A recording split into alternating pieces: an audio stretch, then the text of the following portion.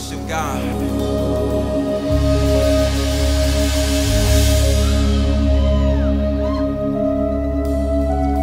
Worship God.